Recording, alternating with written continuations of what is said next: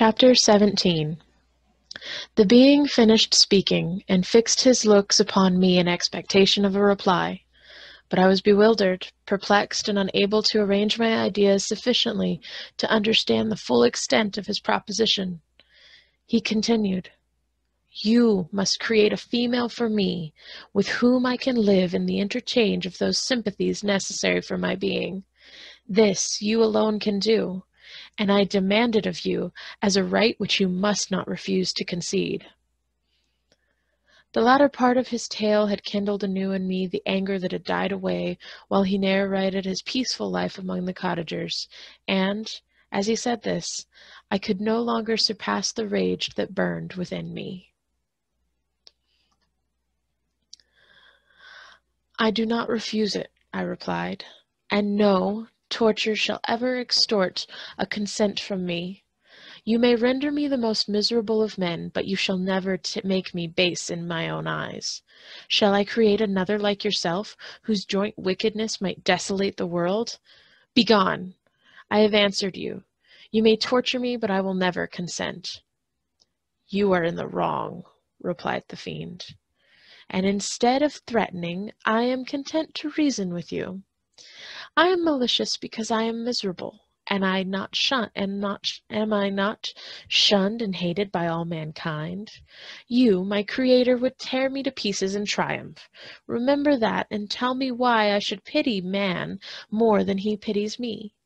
You would not call it murder if you could per- precipitate me into one of those ice rifts and destroy my frame, the work of your own hands. Shall I respect man when he contemns me? Let him live with me in the interchange of kindness, and instead of injury I would bestow every benefit upon him with tears of gratitude at his acceptance. But that cannot be. The human senses are insurmountable barriers to our union. Yet mine shall not be the submission of abject slavery. I will revenge my injuries if I cannot inspire love. I will cause fear, and chiefly towards you, my arch enemy, because my Creator, do I swear inextinguishable hatred. Have a care. I will work at your destruction, nor finish until I desolate your heart, so that you shall curse the hour of your birth. A fiendish rage animated him as he said this. His face was wrinkled into contortions too horrible for human eyes to behold. But presently he calmed himself and proceeded. I intended to reason.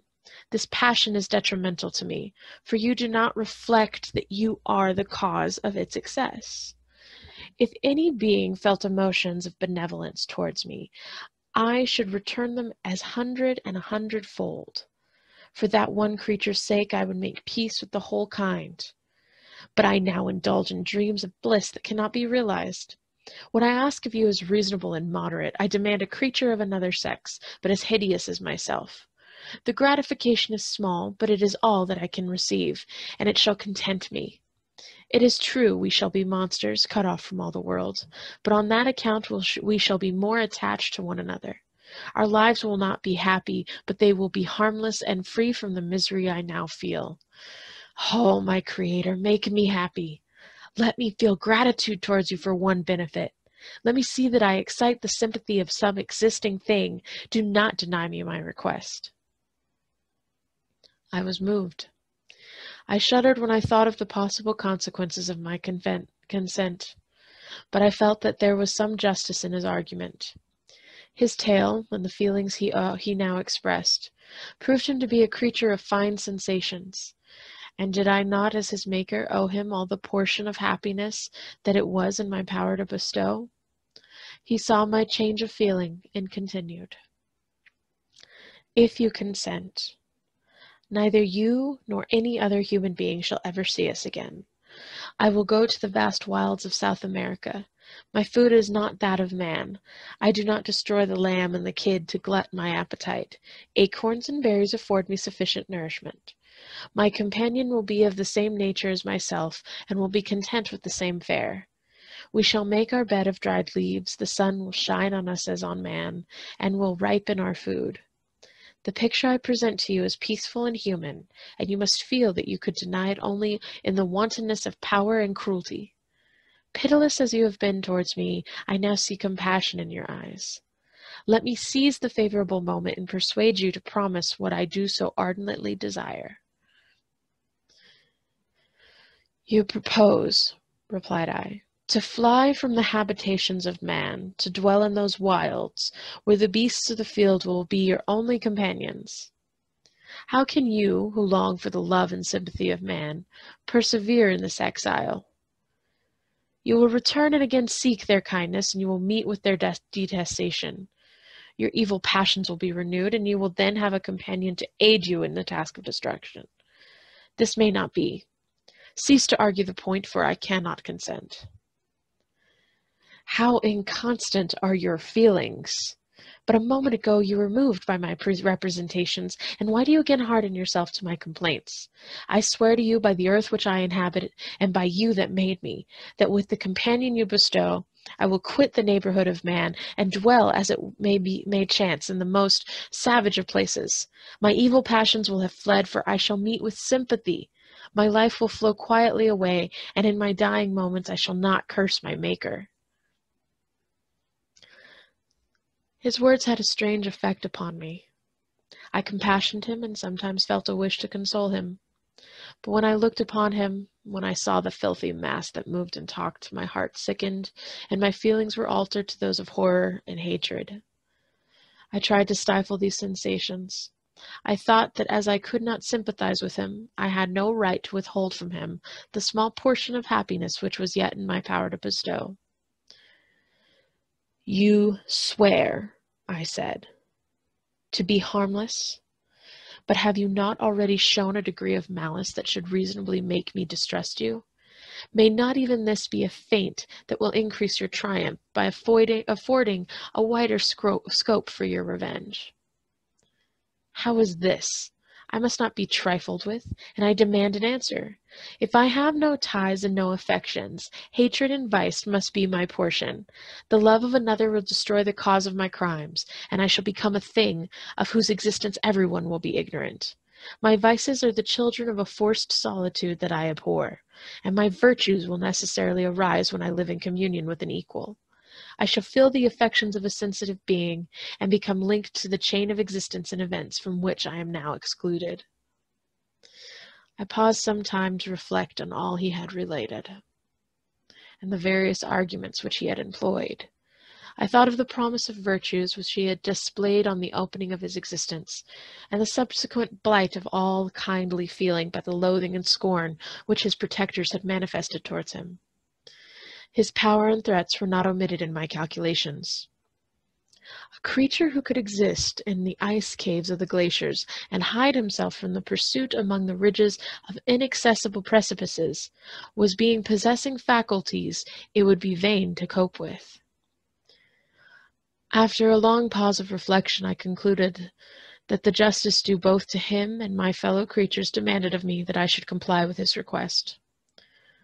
Turning to him, therefore, I said, I consent to your demand, on your solemn oath, to quit Europe forever, and every other place in the neighborhood of man, as soon as I shall deliver into your hands a female who will accompany you in your exile. I swear, he cried, by the sun and by the blue sky of heaven and by the fire of love that burns in my heart, that if you grant my prayer, while they exist, you shall never behold me again. Depart to your home and commence your labors. I shall watch their progress with unutterable anxiety, and fear not but that when you are ready I shall appear. Saying this, he suddenly quitted me, fearful perhaps of any change in my sentiments. I saw him descend the mountain with greater speed than the flight of an eagle, and quickly lost among the undulations of the sea of ice. His tale had occupied the whole day, and the sun was upon the verge of the horizon when he departed. I knew that I ought to hasten my descent towards the valley, as I should soon be encompassed in darkness, but my heart was heavy and my steps slow. The labor of winding among the little paths of the mountains, and fixing my feet firmly as I advanced, perplexed me. Occupied as I was by the emotions which the occurrences of the day had produced, night was far advanced when I came to the halfway resting place and seated myself beside the fountain. The stars shone at intervals as the clouds passed from over them. The dark pines rose before me, and every here and there a broken tree lay on the ground. It was a scene of wonderful solemnity, and stirred strange thoughts within me. I wept bitterly, and clasping my hands in agony, I explained. O stars and clouds and winds, ye are all about to mock me. If ye really pity me, crush sensation and memory, let me become as naught. But if not, depart, depart and leave me in darkness. These were wild and miserable thoughts, but I cannot describe to you how the eternal twinkling of the stars weighed upon me, and how I listened to every blast of wind as if it were a dull, ugly siroc on its way to consume me. Morning dawned before I arrived at the village of Chamonix. I took no rest, but returned immediately to Geneva. Even in my own heart, I could give no expression to my sensations. They weighed on me uh, with a mountain's weight, and their excess destroyed my agony, agony beneath them. Thus I returned home, and entering in the house, presented myself to the family. My haggard and wild appearance awoke intense alarm, but I answered no question, scarcely did I speak. I felt as if I were placed under a ban, as if I had no right to claim their sympathies as if never more might I enjoy companionship with them. Yet even thus I loved them to adoration, and to save them I resolved to dedicate myself to my most abhorred task. The prospect of such an occupation made every other circumstance of existence pass before me like a dream, and that thought only had to me the reality of life. Chapter 18 Day after day, week after week, passed away on my return to Geneva, and I could not collect the courage to recommence my work. I feared the vengeance of the disappointed fiend, yet I was unable to overcome my repugnance to the task which was enjoined me. I found that I could not compose a female without again devoting several months to profound study and laborious distinction disquisition. I had heard of some discoveries having been made by an English philosopher, the knowledge of which was material to my success, and I sometimes thought of obtaining my father's consent to visit England for this purpose. But I clung to every pretence of delay, and shrunk from taking the first step in an undertaking whose immediate necessity began to appear less absolute to me. A change indeed had taken place in me. My health, which had hitherto declined, was now much restored and my spirits, when unchecked by the memory of my unhappy promise, rose proportionably. My father saw this change with pleasure, and he turned his thoughts towards the best method of eradicating the remains of my melancholy, which every now and then would return by, my, by fits, and with a devouring blackness overcast the approaching sunshine. At these moments I took refuge in the most perfect solitude. I passed whole days on the lake alone in a little boat, watching the clouds, and listening to the rippling of the waves, silent and listless. But the fresh air and bright sun seldom failed to restore me to some degree of composure, and, on my return, I met the salutations of my friends with a readier smile and a more cheerful heart. It was after my return from one of these rambles that my father, calling me aside, thus addressed me. I am happy to remark, my dear son, that you have resumed your former pleasures and seem to be returning to yourself. And yet you are still unhappy and still avoid our society. For some time I was lost in conjecture as to the cause of this, but yesterday an idea struck me, and if it is well founded, I conjure you to avow it. Reserve on such a point would be not only useless, but draw down treble misery on us all. I trembled violently at his exordium, and my father continued. I confess, my son, that I have always looked forward to your marriage with our dear Elizabeth as the tie of our domestic comfort, and the stay of my declining years. You were attached to each other from your earliest infancy. You studied together, and appeared in dispositions and tastes entirely suited to one another. But so blind is the experience of man, that what I conceive to be the best assistance to my plan may have entirely destroyed it.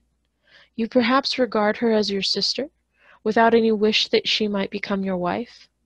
Nay, you may have met with another whom you may love, and considering yourself as bound in honour to Elizabeth, this struggle may occasion the poignant misery which you appear to feel. My dear father, reassure yourself. I love my cousin tenderly and sincerely. I never saw any woman who excited, as Elizabeth does, my warmest admiration and affection. My future hopes and process, prospects are entirely bound up in the expectation of our union. The expression of your sentiments on this subject, my dear Victor, gives me more pleasure than I have for some time experienced. If you feel thus, we shall assuredly be happy. However, present events may cast a gloom over us. But it is it is this gloom which appears to have taken so strong a hold on your mind that I wish to dissipate it. Tell me, therefore, whether you object to an immediate solemnization of the marriage. We have been unfortunate, and recent events have drawn us from that everyday tranquillity befitting my years and infirmities. You are younger, yet I do not suppose, possessed as you are of a competent fortune, that an early marriage would at all interfere with any future plans of honor and utility that you may ha have formed. Do not suppose, however, that I wish to dictate happiness to you, or that a delay on your part would cause me any serious uneasiness. Interpret my words with candor and answer me, I conjure you, with confidence and sincerity. I listened to my father in silence and remained for some time incapable of offering any reply. I revolved rapidly in my mind a multitude of thoughts and endeavored to arrive at some conclusion.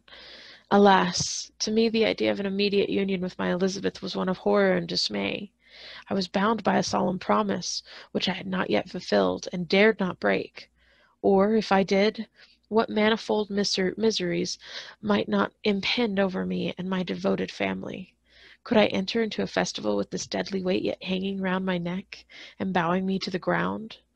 I must perform my engagement, and let the monster depart with his mate before I allowed myself to enjoy the delight of a, of a union from which I expected peace. I remembered also the necessity imposed upon me of either journeying to England or entering into a long correspondence with those philosophers of that country, whose knowledge and discoveries were of indispensable use to me in my present undertaking. The latter method of obtaining the desired intelligence was dilatory and unsatisfactory. Besides, I had an insurmountable aversion to the idea of engaging myself in my loathsome task in my father's house, while inha inhabits a familiar intercourse with those I loved. I knew that a thousand fearful accidents might occur, the slightest of which could disclose a tale to the thrill all connected with me with horror. I was aware also that I should often lose all self-command, all capacity of hiding the harrowing sensations that would possess me during the progress of my unearthly occupation. I must absent myself from all I loved while thus employed. Once commenced, it would quickly be achieved, and I might be restored on my family in peace and happiness. My promise fulfilled, the monster would depart forever, or, so my fond fancy imagined, some accident might meaning, meanwhile occur to destroy him and put an end to my slavery forever. These feelings dictated my answer to my father. I expressed a wish to visit England, but concealing the true reasons of this request, I clothed my desires under a guise which excited no suspicion, while I urged my desire with an earnestness that easily induced my father to comply. After so long a period of an absorbing melancholy that resembled madness in its intensity and effects, he was glad to find that I was capable of taking pleasure in the idea of such a journey, and he hoped that change of scene and varied amusement would, before my return, have restored me entirely to myself. The duration of my absence was left to my own choice. A few months, or at most a year, was the period contemplated. One paternal kind precaution he had taken to ensure my having a companion. Without previously communicating with me, he had, in concert with Elizabeth, arranged that Clerval should join me at Strasbourg. This interfered with the solitude I coveted for the prosecution of my, my task.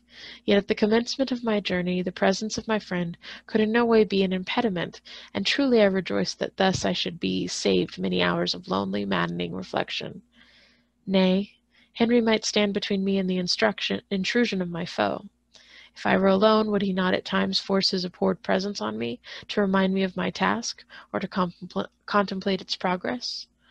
To England, therefore, I was bound, and it was understood that my union with Elizabeth should take place immediately on my return. My father's age rendered him extremely averse to delay. For myself there was one reward. I promised myself from my detested toils, one consolation for my unparalleled sufferings. It was the prospect of that day when, enfranchised from my miserable slavery, I might claim Elizabeth and forget the past in my union with her. I now made arrangements for my journey, but one feeling haunted me which filled me with fear and agitation. During my absence I should leave my friends unconscious of the existence of their enemy, and unprotected from his attacks, exasperated, as he might be by my departure. But he had promised to follow me wherever I might go, and would be not and would he not accompany me to England?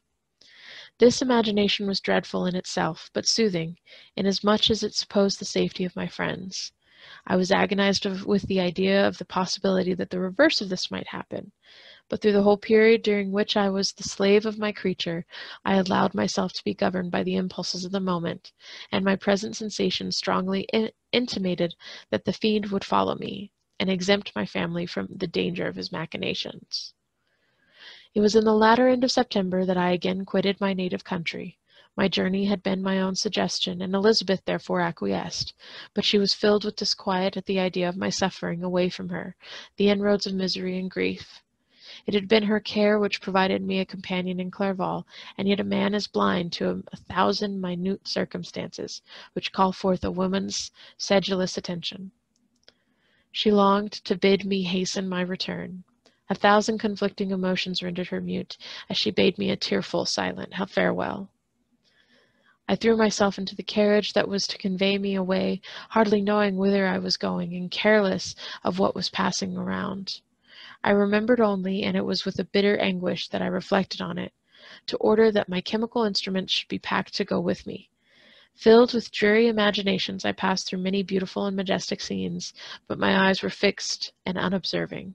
I could only think of the bourne of, the, of my travels, and the work which was to occupy me whilst they endured. After some days spent in listless eh, indolence, during which I traversed many leagues, I arrived at Strasbourg, where I waited two days for Clerval. He came. Alas, how great was the contrast between us!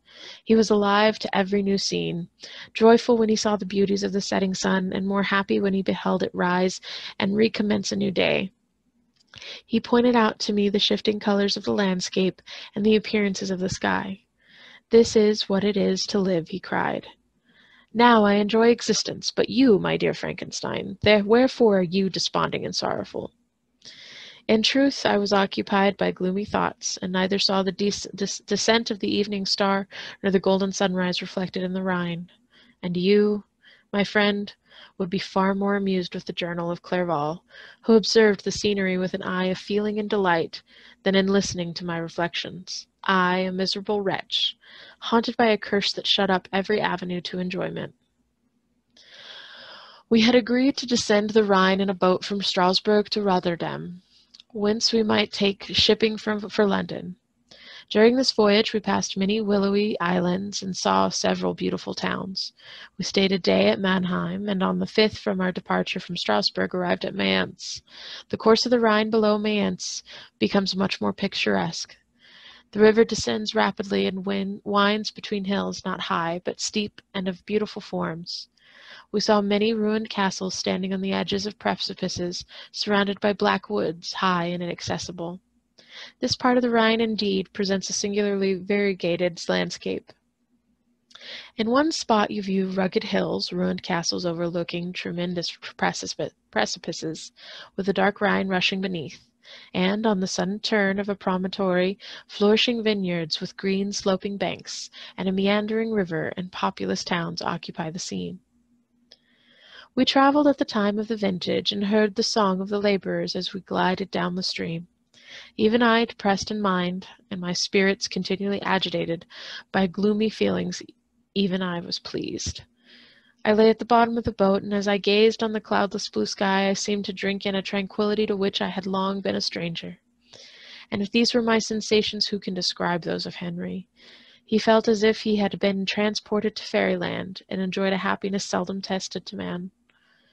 I have seen, he said, the most beautiful scenes of my own country. I have visited the lakes of Lucerne and Uri, where the snowy mountains descend almost perpendicularly to the water, casting black and impenetrable shades, which would cause a gloomy and mournful appearance. Were it not for the most verdant islands that relieve the eye by their gay appearance, I have seen this lake agitated by a tempest, when the wind tore up whirlwinds of water, and gave you an idea of what the water spout must be on the great ocean and the waves dashed with fury the base of the mountain, where the priest and his mistress were overwhelmed by an avalanche, and where their dying voices are still said to be heard amid, the pauses of the nightly wind. I have seen the mountains of La Valais and the Pays du Vaud, but this country, Victor, pleases me more than all those wonders. The mountains of Switzerland are more majestic and strange, but there is a charm in the banks of the divine river that I never before saw equaled. Look at that castle which overhangs yon precipice. And that also on the island, almost conceal, concealed amongst the foliage of those lovely trees. And now that group of laborers coming from among their vines, and that village half hid in the recess of the mountain. Oh, surely the spirit that inhabits and guards this place has a soul more in harmony with man than those who pile the glacier or retire to the inaccessible peaks of the mountains of our own country. Clerval, Beloved friend, even now it delights me to record your words, and to dwell on the praise of which you are so eminently deserving. He was a being formed in the very poetry of nature. His wild and enthusiastic imagination was chastened by the sensibility of his heart. His soul overflowed with ardent affections, and his friendship was of that devoted and wondrous nature that the world, worldly minded teach us to look for only in the imagination. But even human sympathies were not sufficient to satisfy his eager mind. The scenery of eternal nature, which others regard only with admiration, he loved with ardor. The sounding cataract haunted him like a passion the tall rock. The mountain and the deep and gloomy wood, their colors and their forms were then to him an appetite, a feeling, and a love that had no need of a remoter charm by thought supplied or any interest, unburrowed from his eye. And where does he exist now exist? Is this gentle and lovely being lost forever?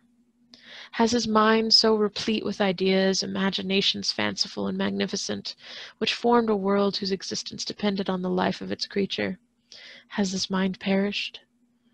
Does it now only exist in my memory? No, it is not thus. Your form, so divinely wrought and beaming with beauty, has decayed, but your spirit still visits and consoles your unhappy friend. Pardon me this gush of sorrow. These ineffectual words are but a slight tribute to the unexampled worth of Henry, but they soothe my heart overflowing with the anguish which his remembrance creates. I will proceed with my tale. Beyond Cologne we descended to the plains of Holland, and we resolved to post the remainder of our way, for the wind was contrary and the stream of the river was too gentle to aid us.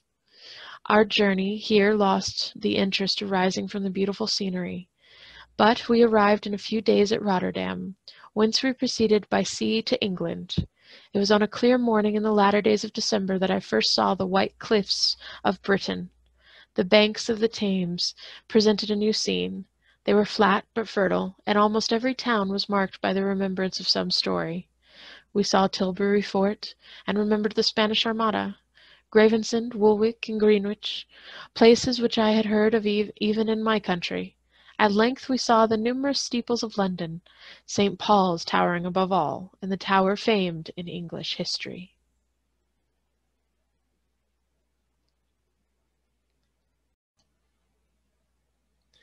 Chapter 19 London was our present point of rest. We determined to remain several months in this wonderful and celebrated city. Clerval desired the intercourse of the men of genius and talent who flourished at this time, but this was with me a secondary object. I was principally occupied with the means of obtaining the information necessary for the completion of my promise and quickly availed myself of the letters of introduction that I had brought with me, addressed to the most distinguished natural philosophers. If this journey had taken place during my days of study and happiness, it would have afforded me inexpressible pleasure. But a blight had come over my existence, and I only visited these people for the sake of the information that might give me on the subject in which my interest was so terribly profound. Company was irksome to me. When alone, I could fill my mind with the sights of heaven and earth. The voice of Henry soothed me, and I could thus cheat myself into a transitory peace but busy, uninteresting, joyous faces brought back despair to my heart. I saw an insurmountable barrier placed between me and my fellow men. This barrier was sealed with the blood of William and Justine, and to reflect on the events connected with those names filled my soul with anguish. But in Clerval I saw the image of my former self. He was inquisitive and anxious to gain experience and instruction. The difference of manners which he observed was to him an inexhaustible source of instruction and amusement. He was also pursuing an object he had long had in his view. His design was to visit India, in the belief that he had in his knowledge of its various languages, and in the views he had taken of its society, the means of materially assisting the progress of European colonization and trade. In Britain only could he further the execution of his plan. He was forever busy, and the only check to his enjoyments was my sorrowful and dejected mind. I tried to conceal this as much as possible, that I might not debar him from the pleasures natural to one, who was entering on a new scene of life, undisturbed by any care or bitter recollection. I often refused to accompany him, alleging another engagement that I might remain alone. I now also began to collect the materials necessary for my new creation, and this was to me like the torture of single drops of water continually falling on the head. Every thought that was devoted to it was an extreme anguish, and every word that I spoke in allusion to it caused my lips to quiver and my heart to palpitate. After passing some months in London, we received a letter from a person in Scotland, who had formerly been our visitor in Geneva. He mentioned the beauties of his native country and asked us if those were not sufficient allurements to induce us to prolong our journey as far north as Perth, where he resided. Clerval eagerly to, desired to accept his invitation, and I, although I abhorred society, wished to view again mountains and streams, and all the wondrous works with which nature adorns her chosen dwelling places. We had arrived in England at the beginning of October, and it was now February. We accordingly determined to commence our journey towards the north at the expiration of another month. In this expedition we did not intend to follow the great road to Edinburgh, but to visit Windsor, Oxford, Matlock, and the Cumberland Lakes, resolving to arrive at the completion of this tour about the end of July. I packed up my chemical instruments and the materials I had collected, resolving to finish my labours in some obscure nook in the northern highlands of Scotland. We quitted London on the 27th of March and remained a few days at Windsor, rambling in its beautiful forest. This was a new scene to us mountaineers. The majestic oaks, the quantity of game, and the herds of stately deer were all novelties to us.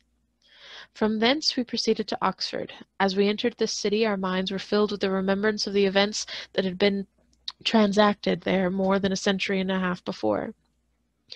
It was here that Charles the First had collected his forces, the city had remained faithful to him, after the whole nation had forsaken his cause to join the standard of Parliament and liberty. the memory of that unfortunate king and his companions, the amiable Falkland, the insolent Goring, his queen and son, gave a peculiar interest to every part of the city, which they might have might be supposed to have inhabited. The spirit of elder days found a dwelling here, and we delighted to trace its footsteps. If these feelings had not found an imaginary gratification, the appearance of the city had yet in itself sufficient beauty to obtain our admiration.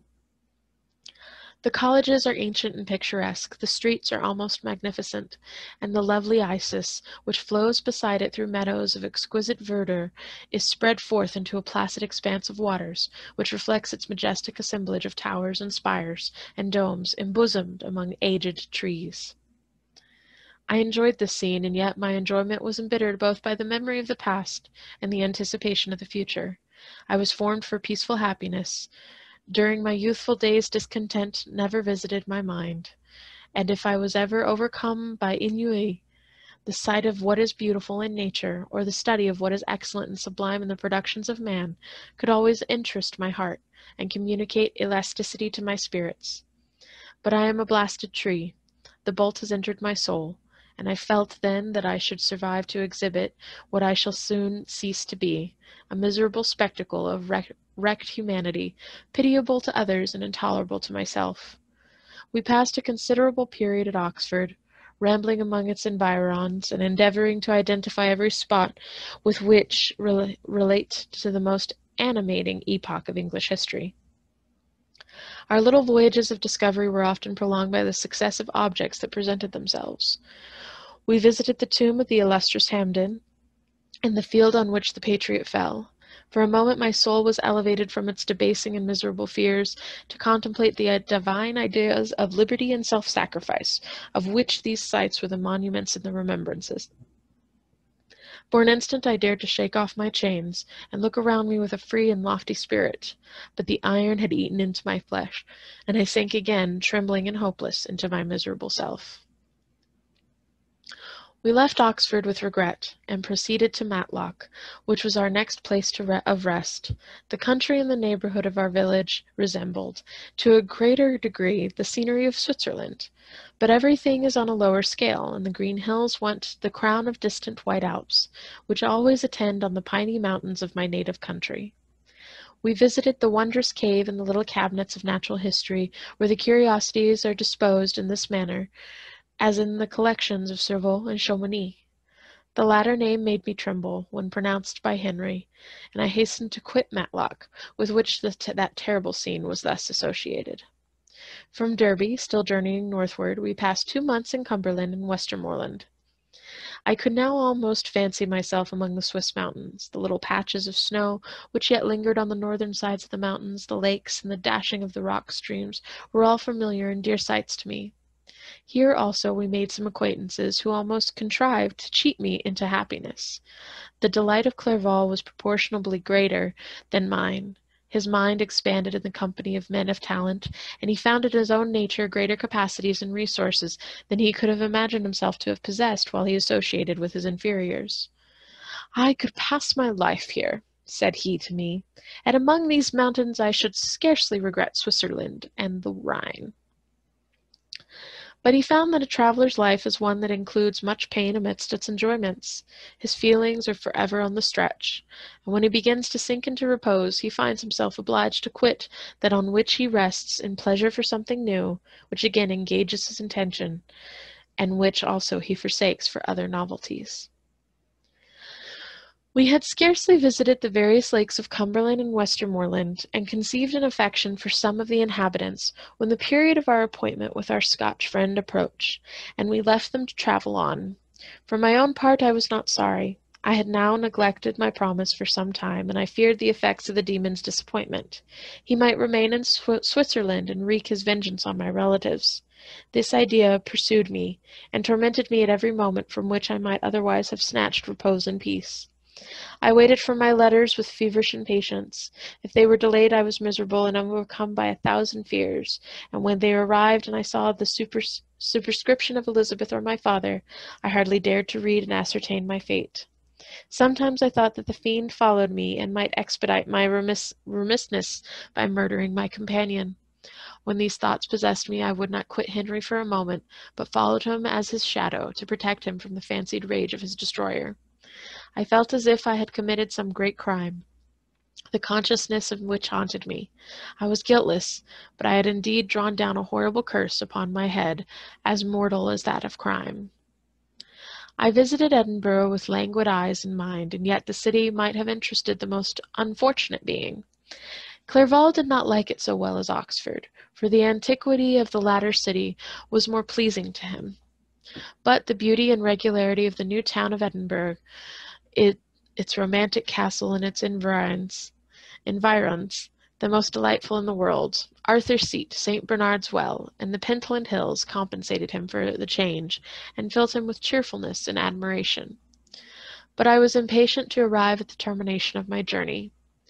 We left Edinburgh in a week, passing through Coupar, St. Andrews, and along the banks of the Tay to Perth, where our friend expected us. But I was in no mood to laugh and talk with strangers, or enter into their feelings or plans with the good humour expected from a guest, and accordingly I told Clerval that I wished to make the tour of Scotland alone. Do you, said I, enjoy yourself and let this be our rendezvous. I may be absent a month or two, but do not interfere with my motions. I entreat you. Leave me to peace and solitude for a short time, and when I return, I hope it will be with a lighter heart, more congenial to your own temper. Henry wished to dissuade me, but seeing me bent on this plan, ceased to remonstrate. He entreated me to write often. I had rather be with you, he said, in your solitary rambles than with these Scotch people, whom I do not know. Hasten then, my dear friend, to return, that I may again feel myself somewhat at home, which I cannot do in your absence. Having parted from my friend, I determined to visit some remote spot of Scotland and finish my work in solitude. I did not doubt but that the monster followed me and would discover himself to me when I should have finished that he might receive his companion. With this resolution, I traversed the northern highlands, and fixed on one of the remotest of the Orkneys as the scene of my labours. It was a place fitted for such a work, being hardly more than a rock, whose high sides were continually beaten upon by the waves. The soil was barren, scarcely affording pasture for a few miserable cows and oatmeal for its inhabitants, which consisted of five persons whose gaunt and scraggy limbs gave tokens of their miserable fare. Vegetables and bread, when they indulged in such luxuries, and even fresh water, was to be procured from the mainland, which was about five miles distant. On the whole island there were but three miserable huts, and one of these was vacant when I arrived. This I hired. It contained but two rooms, and these exhibited all the squalidness of my most of the most miserable penury. The thatch had fallen in, the walls were unplastered, and the door was off its hinges. I ordered it to be repaired, bought some furniture, and took possession, an incident which would, doubtless, have occasioned some surprise, had not all the senses of the cottagers been benumbed by want and squalid poverty. As it was, I lived, ungazed at the unmo- and unmolested, hardly thanked by, for the pittance of food and clothes which I gave. So much does suffering blunt even the coarsest sensations of men. In this retreat I devoted the morning to labor, but in the evening, when the weather permitted, I walked on the stony beach of the sea to listen to the waves as they roared and dashed at my feet. It was a monotonous yet ever-changing scene. I thought of uh, Switzerland. It was far different from this desolate and appalling landscape. Its hills are covered with vines, and its cottages are scattered thickly in the plains. Its fair lakes reflect a blue and gentle sky, and when troubled by the winds, their tumult is but as the play of a lively infant when compared to the roarings of the giant ocean. In this manner I distributed my occupations when I first arrived, but as I proceeded in my labor it became every day more horrible and irksome to me.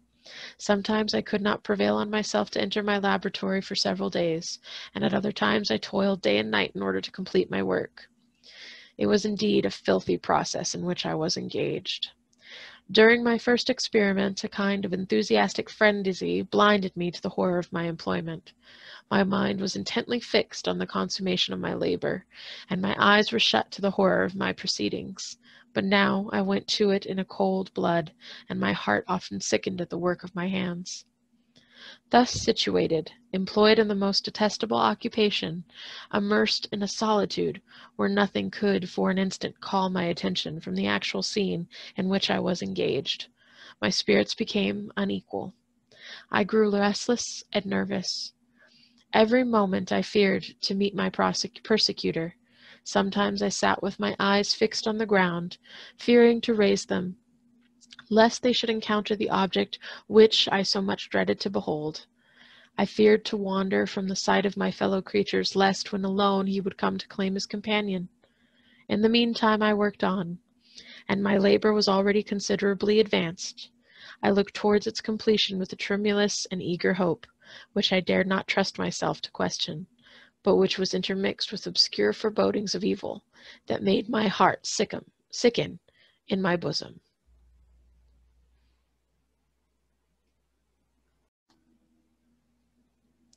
Chapter 20 I sat one evening in my laboratory. The sun had set, and the moon was just rising from the sea.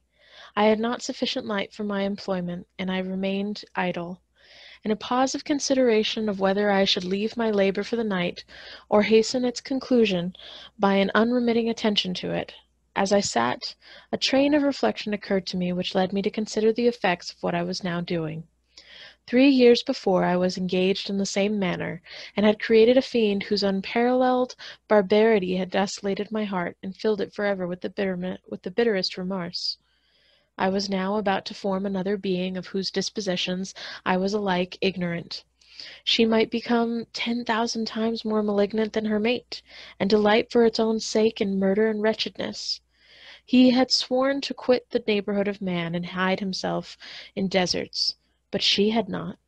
And she, who in all probability was to become a thinking and reasoning animal, might refuse to comply with the comp compact made before her creation. They might even hate each other. The creature who already lo lived loathed his own deformity, and might he not conceive a greater abhorrence for it when it came before his eyes in the female form? She also might turn with disgust from him to the superior beauty of man. She might quit him, and he be again alone, exasperated by the fresh provocation of being deserted by one of his own species.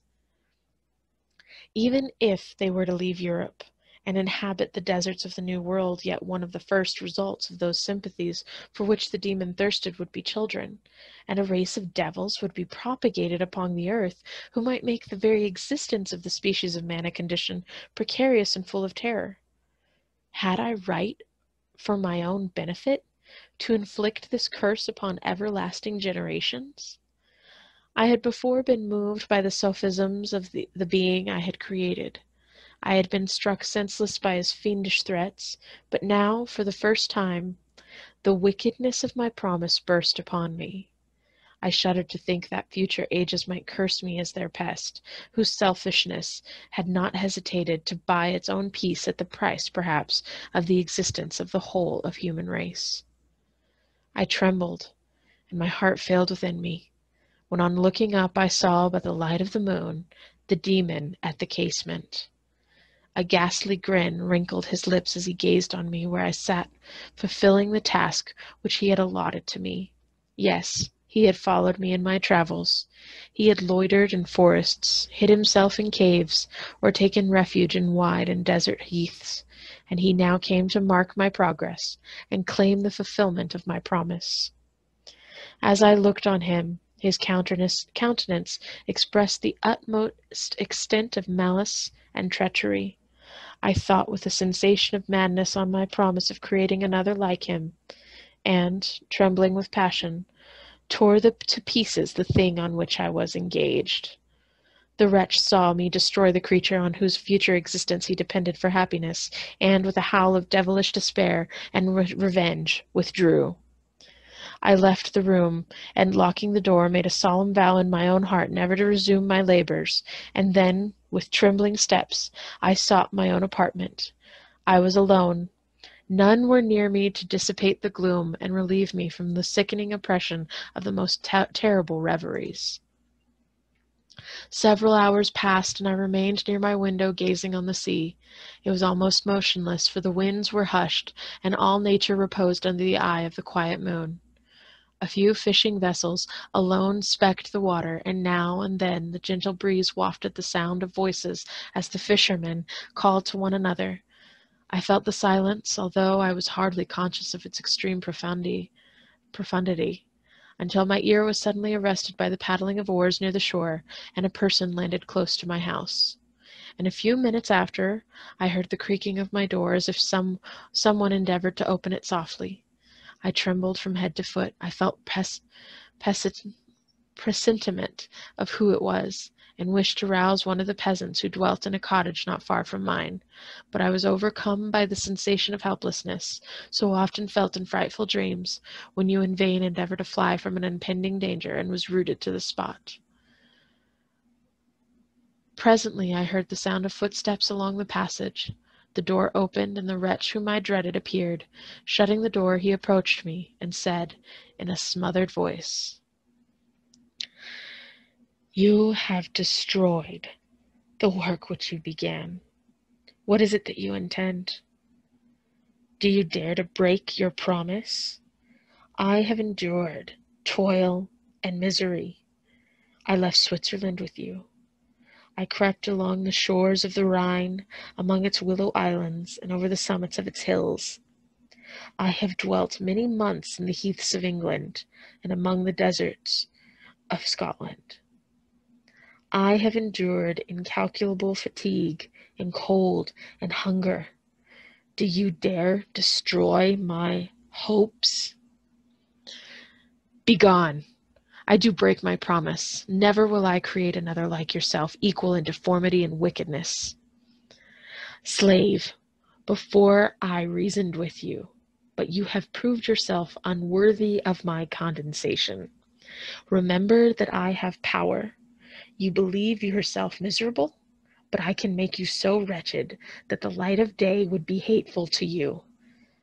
You are my creator, but I am your master. Obey. The hour of my re- irresolution is past, and the period of your power is arrived. Your threats cannot move me to do an act of wickedness, but they confirm me in a determination of not creating you a companion in vice. Shall I, in cool blood, set loose upon the earth a demon, whose delight is in death and wretchedness? Be gone! I am firm, and your words will only exasperate my rage. The monster saw my determination in my face and gnashed his teeth in the impotence of anger. Shall each man find a wife for his bosom, and each beast have his mate, and I be alone? I had feelings of affection, and they were requited by detestation and scorn.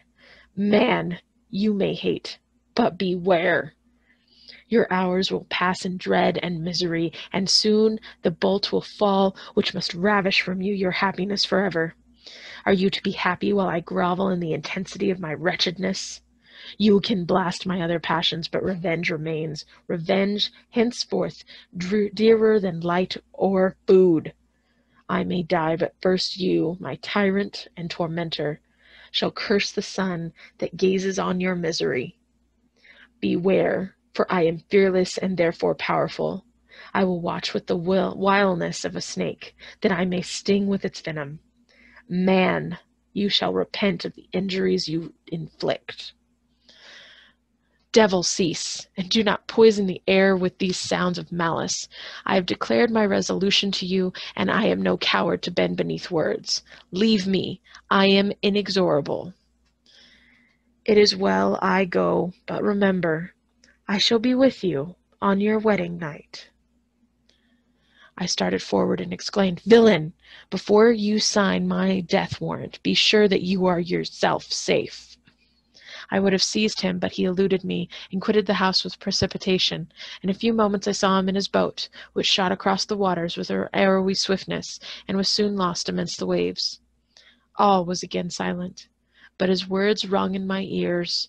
I burned with rage to pursue the murderer of my peace and precipitate him into the ocean. I walked up and down my room hastily and perturbed, while my imagination conjured up a thousand images to torment and sting me. Why I had not followed him and closed with him in mortal strife. But I had suffered him to depart, and he had directed his course towards the mainland. I shuddered to think who might be the next victim sacrificed in his insatiate revenge. And then I thought again of his words I will be with you on your wedding night. That, then, was the period fixed for fulfillment of my destiny. In that hour I should die, and at once satisfy and extinguish his malice. The prospect did not move me to fear, yet when I thought of my beloved Elizabeth, of her tears and endless sorrow, when she should find her lover so barbarously snatched from her, tears, the first I had shed for many months, streamed from my eyes, and I resolved not to fall before my enemy without a bitter struggle. The night passed away and the sun rose from the ocean. My feelings became calmer, if it may be called calmness, when the violence of rage sinks into the depths of despair. I left the house the horrid scene of the last night's contention and walked on the beach of the sea, which I almost regarded as an insuperable barrier between me and my fellow creatures. Nay, a wish that such should prove the fact stole across me. I desired that I might pass my life on that barren rock warily, it is true, but uninterrupted by any sudden shock of misery. If I returned it was to be sacrificed, or to see those whom I most loved die under the grasp of a demon whom I had myself created. I walked about the isle like a restless spectre, separated from all it loved, and miserable in the separation. When it became noon, and the sun rose higher, I lay down on the grass and was overpowered by a deep sleep. I had been awake the whole of the preceding night, by my nerves were agitated, and my eyes inflamed by watching and misery. The sleep into which I now sunk refreshed me, and when I awoke I again felt as if I belonged to a race of human beings like myself, and I began to reflect upon what had passed with greater composure. Yet still the words of the fiend rung in my ears like a death knell. They appeared like a dream, yet distinct and oppressive as a reality. The sun had far descended, and I still sat on the shore, satisfying my appetite, which had become ravenous, with an oaten cake, when I saw a fishing boat close to me, and one of the men brought me a packet. It contained letters from Geneva and one from Clerval, entreating me to join him. He said that he was wearing away his time fruitlessly where he was, that letters from the friends he had formed in London desired his return to complete the negotiation they had entered into for his Indian enterprise. He could not any longer delay his departure, but as his journey to London might be followed even sooner than he now conjectured by his longer voyage, he entreated me to bestow as much of my society on him as I could spare. He besought me, therefore, to leave my solitary isle and to meet him at Perth, that we might proceed southwards together. This letter in degree recalled me to life, and I determined to, qu- to quit my island at the expiration of two days. Yet before I departed, there was a task to perform on which I shuddered to reflect. I must pack up my chemical instruments, and for the purpose I must enter the room which had been the scene of my odious work, and I must handle those utensils, the sight of which was sickening to me. The next morning at daybreak I summoned sufficient courage and unlocked the door of my laboratory. The remains of the half finished creature whom I had destroyed lay scattered on the floor, and I almost felt as if I had mangled the living flesh of a human being. I paused to collect myself and then entered the chamber. With trembling hands I conveyed the instruments out of the room, but I reflected that I ought not leave the relics of my work to excite the horror and suspicion of the peasants, and I accordingly put them into a basket with a great quantity of stones, and laying them up, determined to throw them into the sea that very night, and in the meantime I sat up the beach, employed in cleaning and arranging my chemical apparatuses. Nothing could be more complete than the alteration that had taken in my feelings since that night of the appearance of the demon. I had before regarded my promise with a gloomy despair, and as this thing, and as a thing that, with whatever consequences, must be fulfilled. But I now felt as if a film had been taken from before my eyes, and that I, for the first time, saw clearly. The idea of renewing my labors did not for one instant occur to me. The threat I had heard weighed on my thoughts, but I did not reflect that a voluntary act of mine could avert it. I had resolved in my own mind that to create another like the fiend I had first made would be an act of the, the basest and most atrocious selfishness, and I banished from my mind every thought that could lead to a different conclusion. Between two and three in the morning the moon rose, and I then, putting my basket aboard a little skiff, sailed about four miles from shore. The scene was perfectly solitary. A few boats were returning towards land, but I sailed away from them. I felt as if I was about to commission a dreadful crime, and avoided with shuddering anxiety any encounter with my fellow creatures. At one time the moon, which had before been clear, was suddenly overspread by a thick cloud, and I took advantage of the moment and darkness, and cast my basket into the sea. I listened to the gurgling sound as it sunk, and then sailed away from the spot. The sky became clouded, but the air was pure, although chilled by the northeast breeze that was then rising. But it refreshed me, and filled me with such agreeable sensations that I resolved to prolong my stay on the water, and fixing the rudder in a direct position, stretched myself at the bottom of the boat. Clouds hid the moon, everything was obscure, and I heard only the sound of the boat as its keel cut through the waves. The murmur lulled me. and in a short time I slept soundly. I do not know how long I remained in this situation, but when I awoke I found that the sun had already mounted considerably. The wind was high and the waves continually threatened the safety of my little skiff. I found that the wind was northeast and must have driven me far from the coast from which I had embarked. I endeavored to change my course, but quickly found that if I again made the attempt, the boat would be instantly filled with water. Thus situated, my only res resource was to drive before the wind. I confess that I felt a few sensations of terror. I had no compass with me and was so slenderly acquainted with the geography of this part of the world that the sun was of little benefit to me. I might be driven into the wide Atlantic and feel all the tortures of starvation, or be swallowed up in immeasurable waters that roared and buffeted around me. I had already been out many hours, and felt the torment of a burning thirst, a prelude to my other sufferings. I looked on the heavens, which were covered by clouds that flew before the wind, only to be replaced by others. I looked upon the sea. It was to be my grave. Fiend, I explained, your task is already fulfilled. I thought of Elizabeth, of my father, and Clerval, all left behind on whom the monster might satisfy his sanguinary and merciless passions. This idea plunged me into a reverie so despairing and frightful that even now, when the scene is on the point of closing before me forever, I shudder to reflect on it. Some hours passed thus, but by degrees, as the sun declined towards the horizon, the wind died away in the gentle breeze, and the sea became free from breakers, but these gave place to a heavy swell.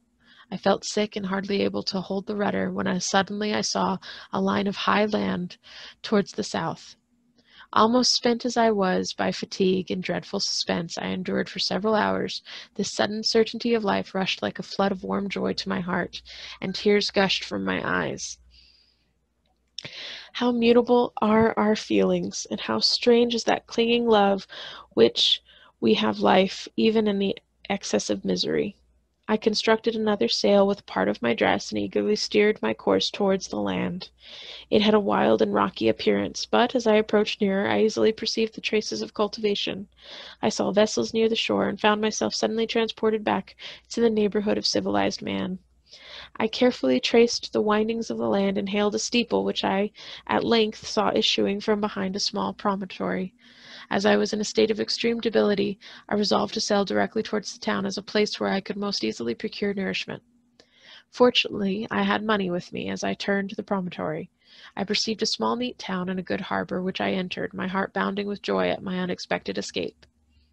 As I was occupied in fixing the boat and arranging the sails, several people crowded towards the spot. They seemed much surprised at my appearance, but instead of offering me any assistance, whispered together with gestures that at any other time might have produced in me a slight sensation of alarm. As it was, I merely remarked that they spoke English, and I therefore addressed them in that language. My good friends, said I, will you be so kind as to tell me the name of this town and inform me where I am?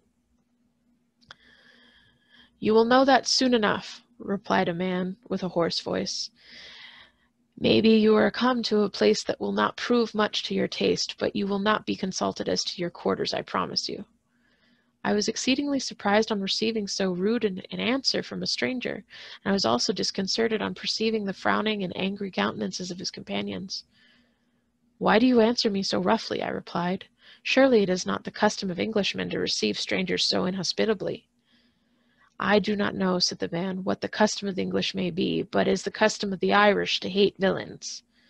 While this strange dialogue continued, I perceived the crowd rapidly increase. Their faces expressed a mixture of curiosity and anger, which annoyed and some degree alarmed me. I inquired the way to the inn, but no one replied. I then moved forward, and murmuring sound arose from the crowd as they followed and surrounded me, when an ill-looking man approaching tapped me on the shoulder and said, Come, sir, you must follow me to Mr. Kirwin's, to give an account of yourself. Who is Mr. Kirwin? Why am I to give an account of myself? Is not this a free country? Ay, sir, free enough to honest folks. Mr. Kirwin is a magistrate, and you are to give an account of the death of a gentleman who was found murdered here last night. This answer startled me, but I presently recovered myself. I was innocent, that could easily be proved. Accordingly, I followed my conductor in silence, and was led to one of the best houses in the town. I was ready to sink from fatigue and hunger, but being surrounded by a crowd, I thought it politic to rouse all my strength, that no physical debility might be co- construed into apprehension or conscious guilt. Little did I then expect the calamity that was in a few moments to overwhelm me, and extinguish in horror and despair all fear of ignominy or death. I must pause here, for it requires all my fortitude to recall the memory of the frightful events which I am about to relate in proper detail to my recollection.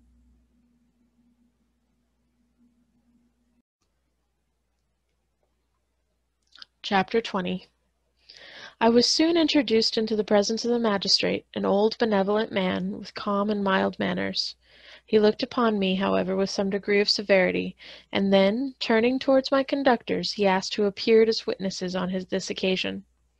About half a dozen men came forward, and one being selected by the magistrate, he deposed that he had been out fishing the night before with his son and brother-in-law, Daniel Nugent, when about ten o'clock they observed a strong northerly blast rising, and they accordingly put in for port. It was a very dark night, as the moon had not yet risen. They did not land at the harbor, but as they had been accustomed at a creek about two miles below. He walked on first, carrying a part of the fishing tackle, and his companions followed him at some distance. As he was proceeding along the sands, he struck his foot against something, and fell at his length on the ground. His companions came up to assist him, and by the light of their lantern they found that he had fallen on the body of a man who was to all appearance dead. Their first supposition was that it was the corpse of some person who had been drowned and was thrown on shore by the waves. But on examination they found that the clothes were not wet, and even that the body was not then cold. They instantly carried it to the cottage of an old woman near the spot, and endeavored, but in vain, to restore it to life. It appeared to be a handsome young man, about five and twenty years of age. He had apparently been strangled, for there was no sign of any violence except the black mark of fingers on his neck. The first part of his disposition, des- disposition did not in the least interest me, but when the mark of the fingers was mentioned, I remembered the murder of my brother, and felt myself extremely agitated. My limbs trembled, and a mist came over my eyes, which obliged me to lean on a chair for support. The uh, magistrate observed me with a keen eye, and of course drew an unfavorable augury from my manner.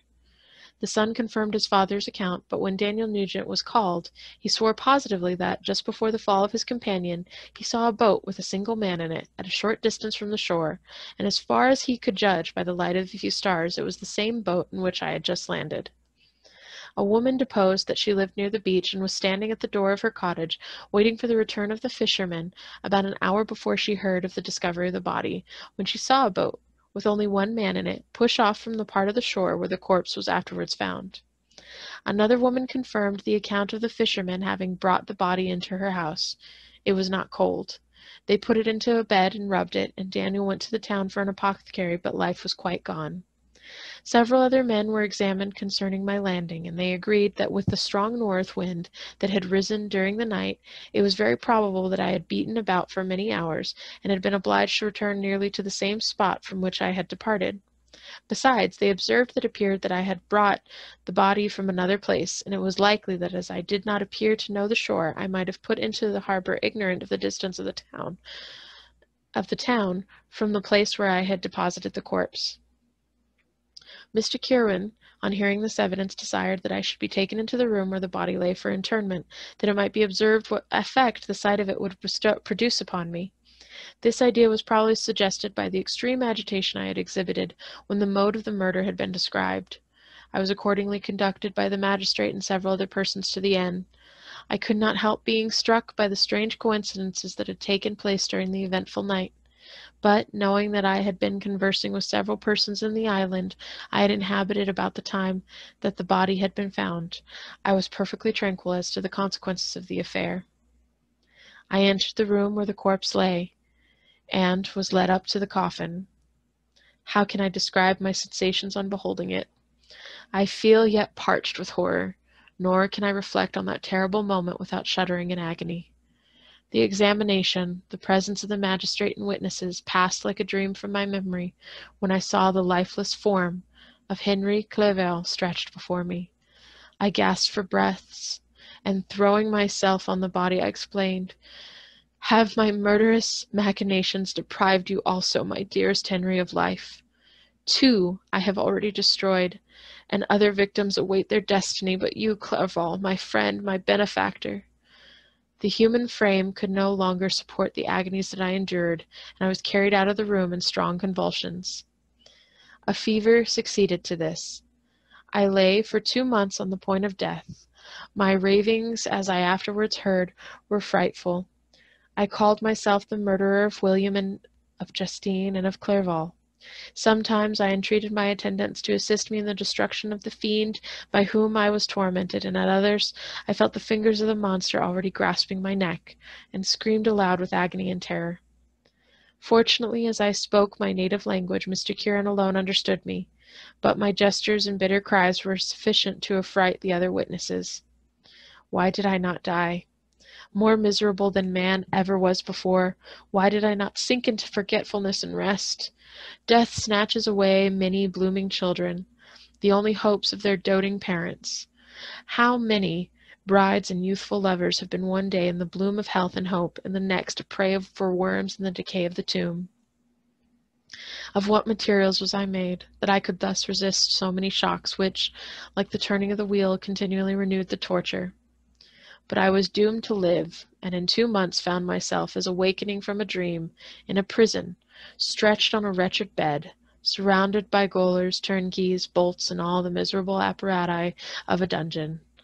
It was morning. I remember when I thus awoke to understanding. I had forgotten the particulars of what had happened, and only felt as if some great misfortune had suddenly overwhelmed me. But when I looked around and saw the barred windows, and the squalidness of the room in which I was, all flashed across my memory, and I groaned bitterly. This sound disturbed an old woman who was sleeping in a chair beside me.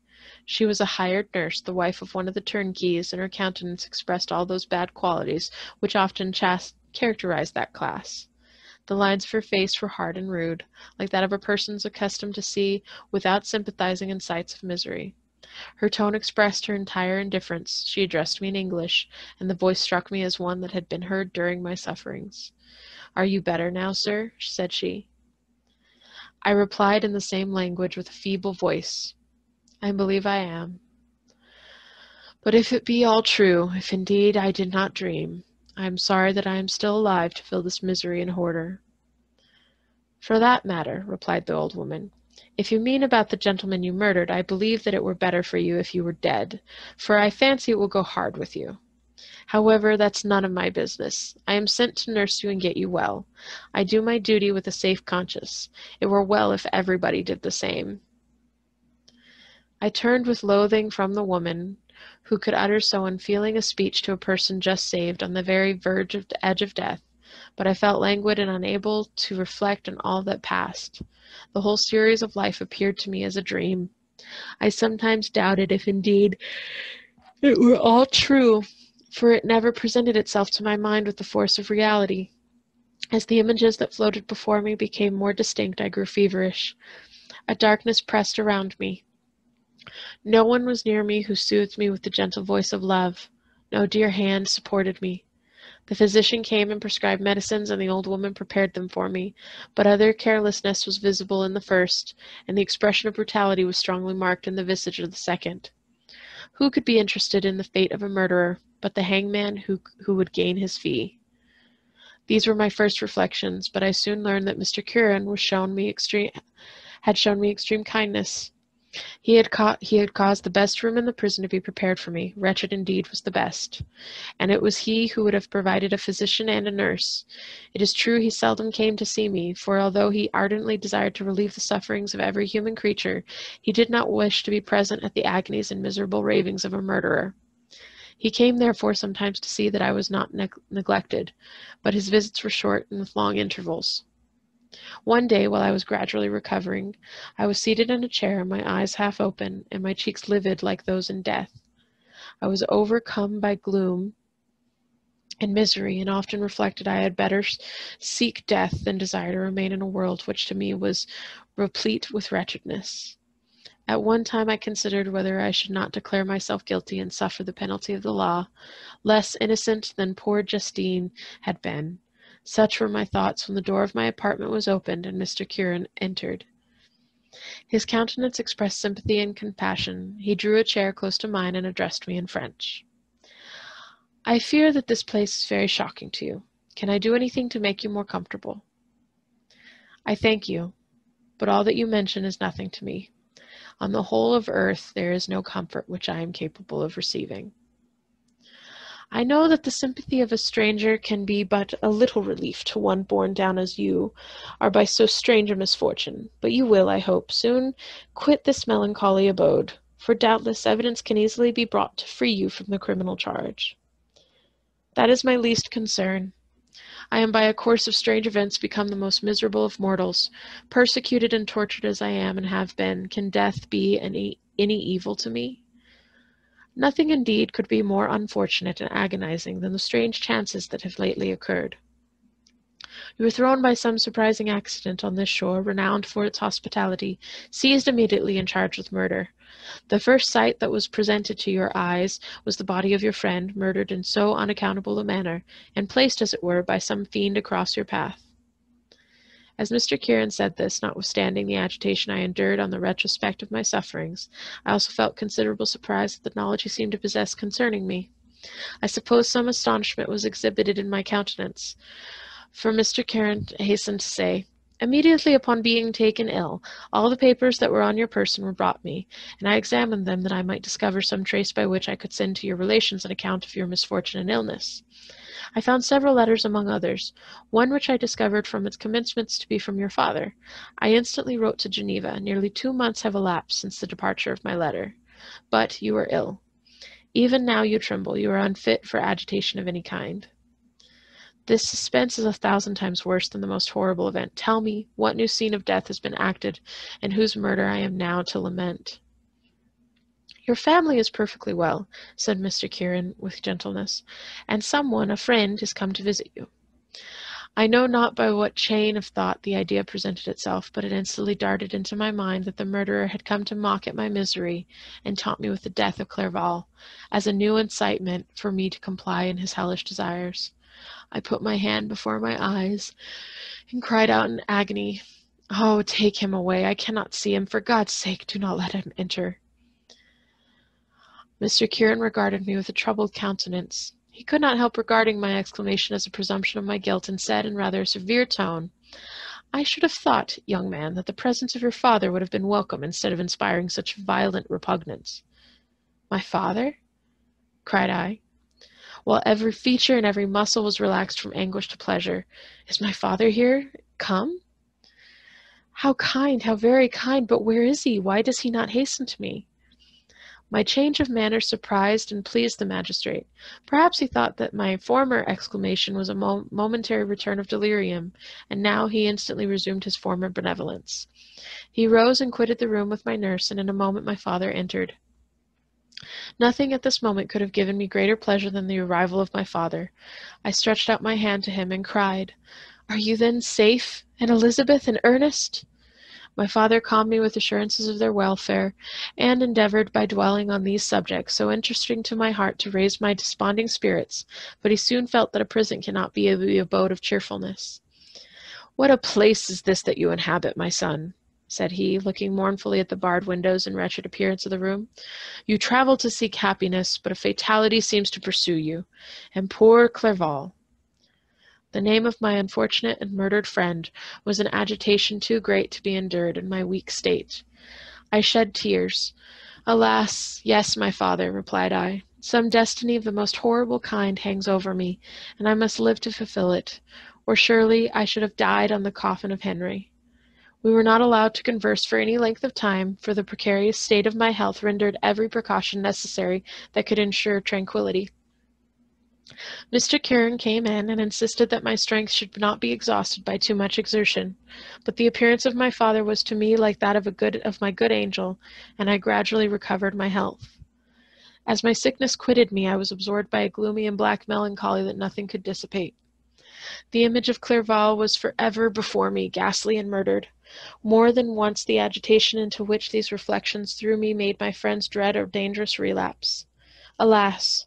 Why did they persevere so miserable and detested a life? It was surely that I might fulfill my destiny, which is now drawing to a close. Soon, oh, very soon, will death extinguish these throbbings and relieve me from the mighty weight of anguish that bears me to the dust. And, in executing the uh, award of justice, I shall also sink to rest. Then the appearance of death was distant, although the wish was ever present to my thoughts, and I often sat for hours motionless and speechless, wishing for some mighty revolution that might bury me and destroy, and my destroyer in its ruins. The season of the assizes approached. I had already been three months in prison, and, although I was still weak and in continual danger of a relapse, I was obliged to travel nearly a hundred miles to the county town where the court was held. Mr. Kirwin charged himself with every care of collecting witnesses and arranging my defense. I was spared the disgrace of appearing publicly as a criminal, as the case was not brought before the court that decides on life and death. The grand jury rejected the bill on its being proved that I was on the Orkney Islands at the hour of the body of my friend was found, and a fortnight after my removal I was liberated from prison. My father was enraptured on finding me freed from the vexations of a criminal charge, that I was again allowed to breathe the fresh atmosphere, and permitted to return to my native country. I did not participate in these feelings, for to me the walls of a dungeon or a palace were alike hateful. The cup of life was poisoned forever, and although the sun shone upon me as upon the happy and gay of heart, I saw around me nothing but a dense and frightful darkness, penetrated by no light but the glimmer of two eyes that glared upon me. Sometimes they were the expressive eyes of Henry, languishing in death, the dark orbs nearly covered by the lids, and the long black lashes that fringed them. Sometimes it was the watery, clouded eyes of the monster, as I first saw them in my chamber at Ingolstadt. My father tried to awaken in me the feelings of affection. He talked of Geneva, which I should soon visit, of Elizabeth and Ernest, but these words only drew deep groans from me. Sometimes, indeed, I felt a wish for happiness, and thought with melancholy delight of my beloved cousin, or longed with a devouring maladie du pays to see once more the blue lake and rapid Rhone that had been so dear to me in early childhood. But my general state of feeling was of torpor in which a prison was as welcome as a residence as the divinest scene of nature, and these fits were seldom interrupted but by the paroxysms of anguish and despair. At these moments I often endeavored to put an end to the existence I loathed, and it required unceasing attendance and vigilance to restrain me from committing some dreadful act of violence. Yet one duty remained to me, the recollection of which finally triumphed over my selfish despair. It was necessary that I should return without delay to Geneva, there to watch over the lives of those I so fondly loved, and to lie in wait for the murderer, that if any chance led me to the place of his concealment, or if he dared again to blast me by his presence, I might, with unfailing aim, put an end to the existence of the monstrous image which I had endued with the mockery of a soul still more monstrous. My father still desired to delay our departure, fearful that I could not sustain the fatigues of a journey, for I was so shattered a wreck, the shadow of a human being. My strength was gone. I was a mere skeleton, and fever night and day preyed upon my wasted frame. Still, as I urged our leaving Ireland with such inquietude and impatience, my father thought it best to yield. We took our passage on board a vessel bound for Havre de Grace, and sailed with a fair wind from the Irish shores. It was midnight. I lay on the deck looking at the stars and listening to the dashing of the waves.